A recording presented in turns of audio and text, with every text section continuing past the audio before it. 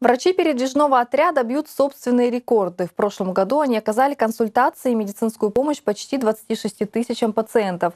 В 2013 году этот показатель был меньше на 9 тысяч. В народе таких докторов называют просто «летающие целители». Они добираются до самых отдаленных населенных пунктов региона, где нет постоянной медицины, чтобы осмотреть каждого жителя.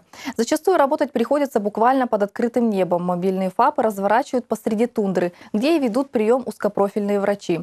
Олег Хатанзейский изучил маршрут передвижного медотряда на текущий год.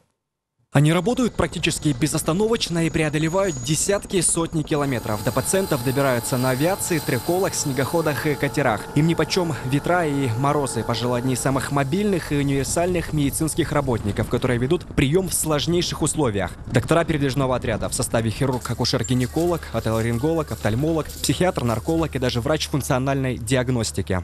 В 2013 году врачи передвижного медотряда совершили 59 выездов. Они побывали в 33 деревнях и селах региона. Помощь туда получили 16,5 тысяч пациентов, среди них дети, взрослые и пенсионеры. В следующем году, то есть в 2014-м, летающие целители сокращают количество своих поездок до 33. Впрочем, увеличивается число обратившихся к медработникам. Помощь оказана почти 26 тысячам людей. Между прочим, это чуть более половины всего населения субъекта.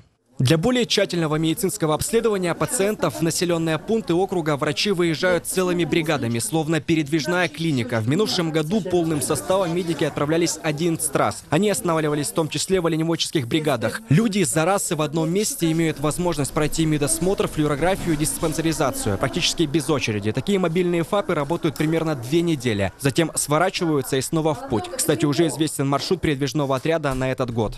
На план составляется в предыдущем году. Мы должны понимать, что мы будем осматривать, какие населенные пункты, и стараемся, чтобы и расширенные медицинские бригады попали в те населенные пункты, где еще не были, вот, допустим, в 2014 году. Недавно вернулся флюроотряд из Нельминоноса и Андига. Другой сейчас работает в Тельвиске, а в Пылинце пациентов на состояние здоровья осматривает хирург и офтальмолог. В Великовисочном работает нарколог.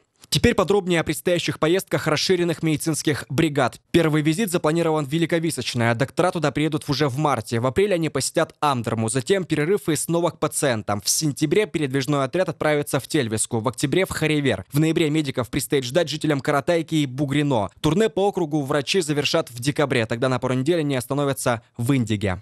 Добраться до пациентов со всем необходимым оборудованием врачам предстоит на авиации. В отдельных случаях, к примеру, между населенными пунктами используют наземную технику. Передвижной флюороотряд, мы разыгрываем конкурсы, летает в основном на вертолетах.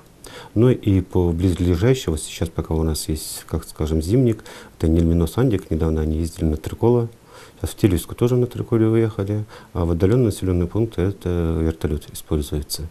Э, передвижной медицинский отряд, когда вылетаем бригаду, мы используем рейсы, которые предназначены совместно с флюороотрядом.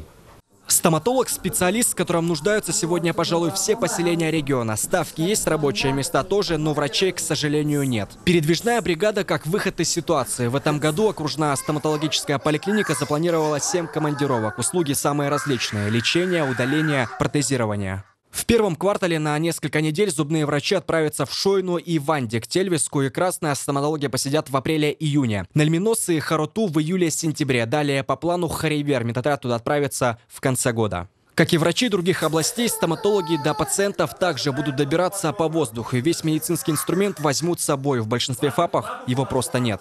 В отдельных есть комплектованные как бы, кабинеты, но в основном мы с собой берем э, портативную машинку. Ну, все оборудование, все, что необходимо.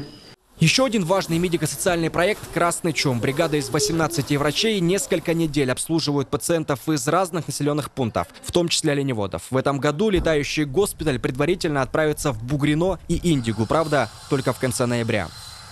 Олег Танзейский, Леонид Шишелов, Дмитрий Лукевич, Александр Усачев, телеканал «Север».